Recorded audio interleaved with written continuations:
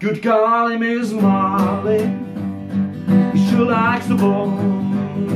Good golly, Miss Molly, she likes the ball.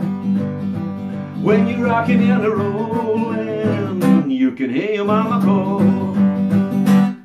From the early, early morning till the early, early night, you can see Miss Molly rocking at the house of blue lights. Good golly, Miss Molly, she likes the ball. When you're rocking and rolling, you can hear your mama call. When you're rocking and rolling, you can hear your mama call when you're rocking and rolling. You can hear your mama call. Okay, that was Good Golly Miss Molly. a three chord song, easy to play.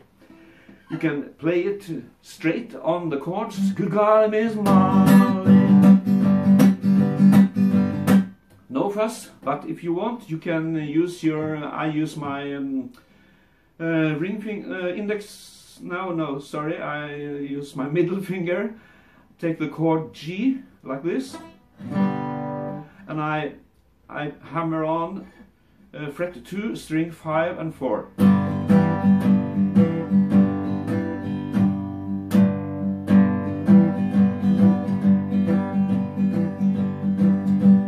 Take the chord C, hammer on string uh, 4 and 3 go back on the G, hammer on, up to D. There I take the D like this, and uh, use my pinky on fret 4, hammer on fret 4, string 3. C and G. So that's about what you need to play this song.